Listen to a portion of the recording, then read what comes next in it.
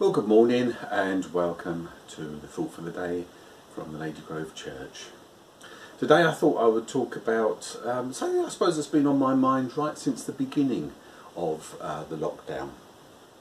Um, last summer when we were in the Derbyshire Peaks we decided to visit the village of, I think it's Eyam or it might be Eam, it's E-Y-A-M uh, in the Derbyshire Peaks it's a place that I'd really wanted to see for the last three years, ever since I read a little guidebook about the place uh, that was in the, the farmhouse where we, where we stayed.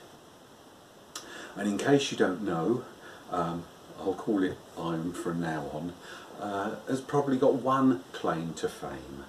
And it's uh, about something that happened back in the um, back in the Renaissance period, 16 65 it all started. Um, it's, it's about um, September I think it was 65 when uh, a man in the village received a delivery of cloth from London. The cloth was damp and so his assistant uh, hung it up in front of the fire to, to dry out and in doing so enlivened the fleas that were in the cloth. And unbeknown to them the fleas carried the bubonic plague.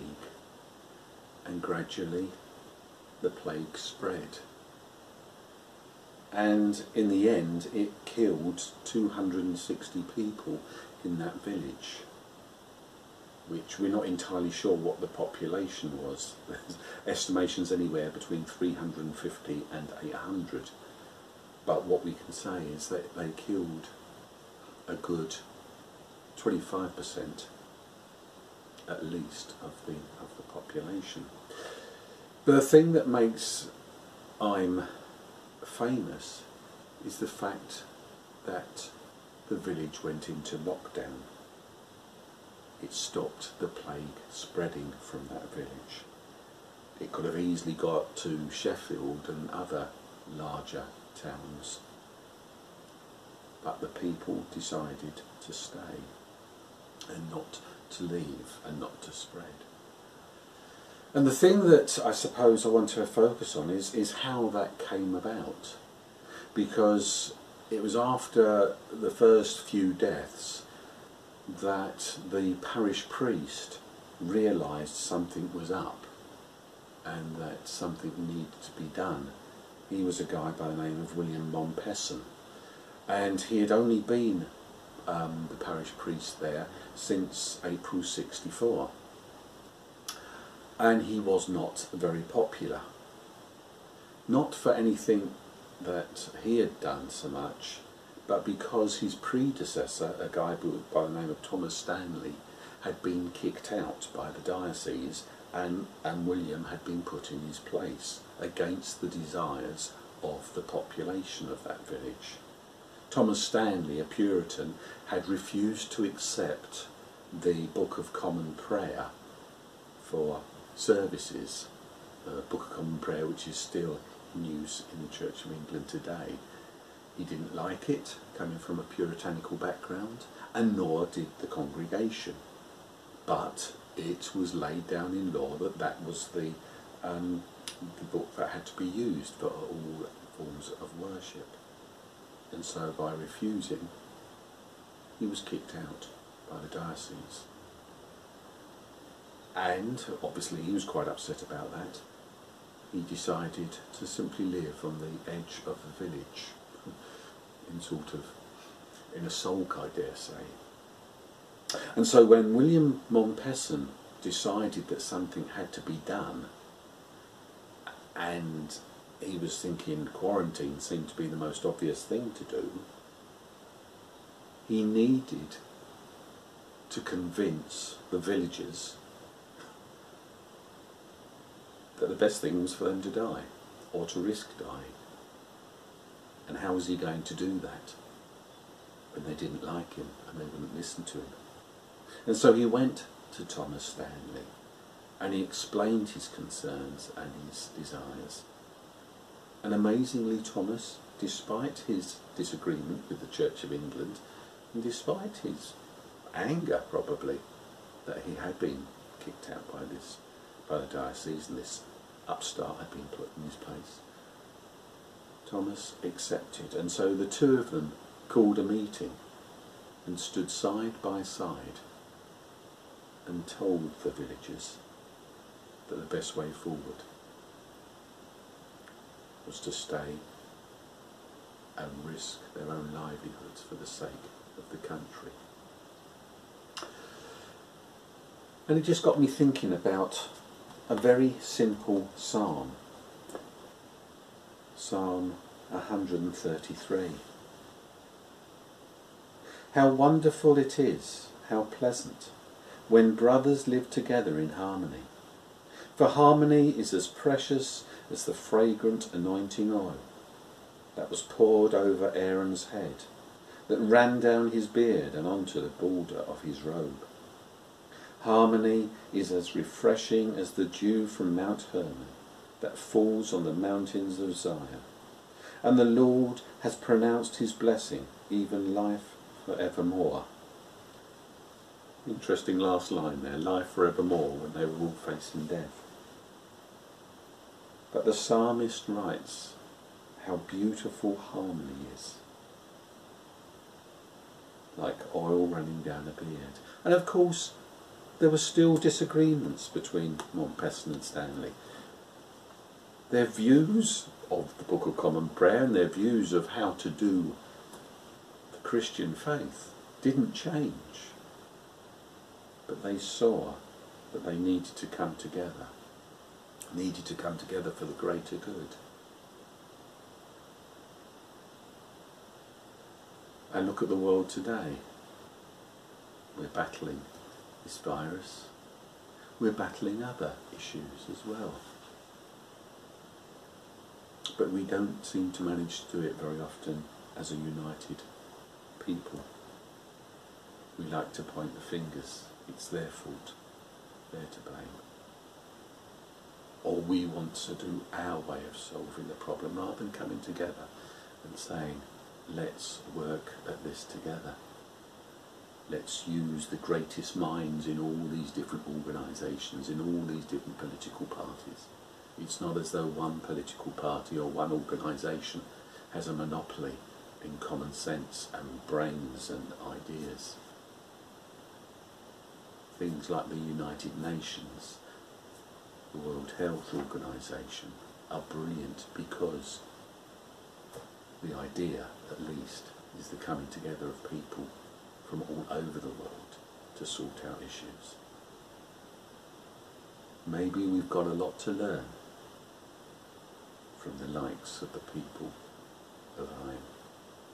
And certainly we've got a lot to learn with God's guidance that harmony is beautiful. Let's pray.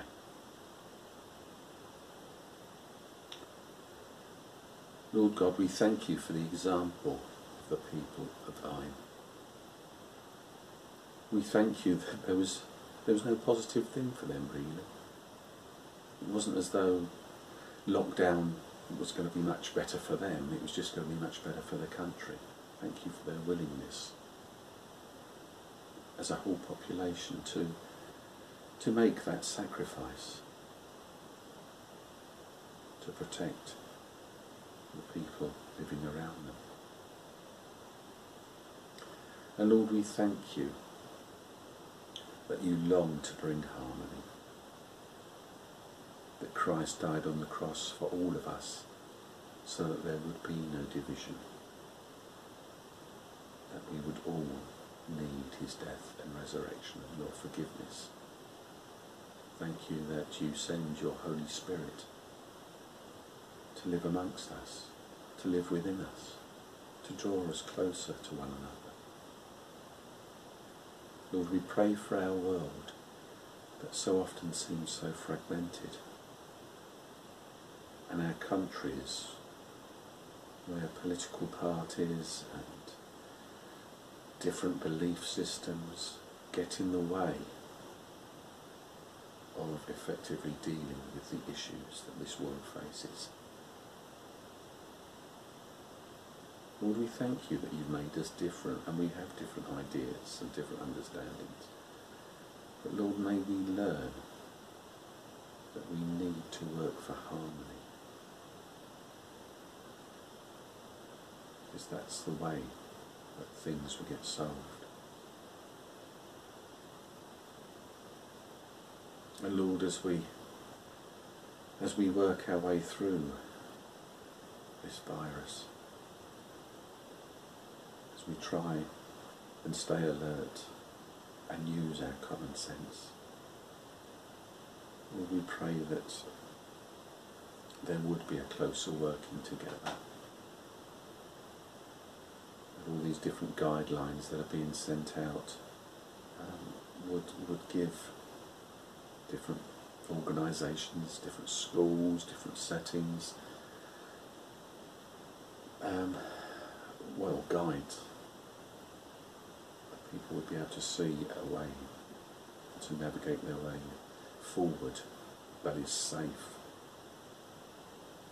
that is protective, that is affirming. And we do pray for all those in positions of responsibility within companies and other organisations who, who are now trying to fathom out the best way forward. And Lord, we pray for families who are still trying to work out how they can meet with one another in a way that is most safe for them. We continue to pray for our health service and for our care service, for our emergency service, for our teachers and teaching staff, and our shops and delivery people, and public transport operators, and utility workers, post office and Royal Mail, retailers. And we pray for those who aren't able to open yet, or even contemplate the possibilities of opening. We pray that the government will continue to put in place sufficient funding and support that enables them to survive in this strange time. We pray for our places of worship as they too start to think about how they might prepare for the future. We particularly pray for harmony there.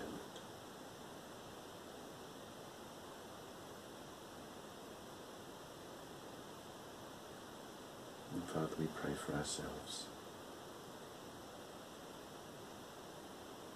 We commit this day to you.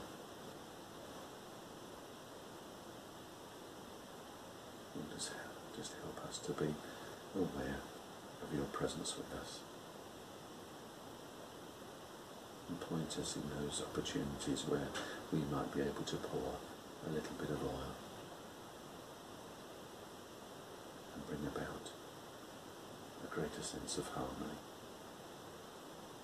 to our words and our actions.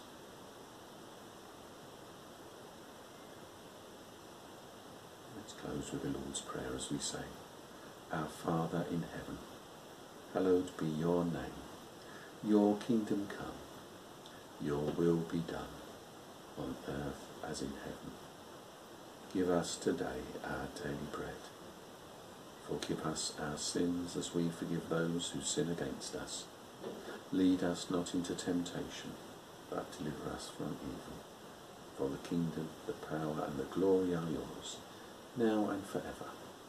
Amen. So if ever you find yourself in the Derbyshire Peaks, I would highly recommend a visit to Eyam. It's got a lovely museum that tells the story, and the whole village has got a sort of sense of something special happened there. There's, I've never been to any of the big war cemeteries, but I imagine that there's a, a similar feeling that you you're treading on some very sacred ground, some ground that you need to show respect to. So have a, have a gander if you get a chance. And in the meantime, enjoy today. Look for blessings, bless others, and spread harmony in all that we do. See you soon. Bye.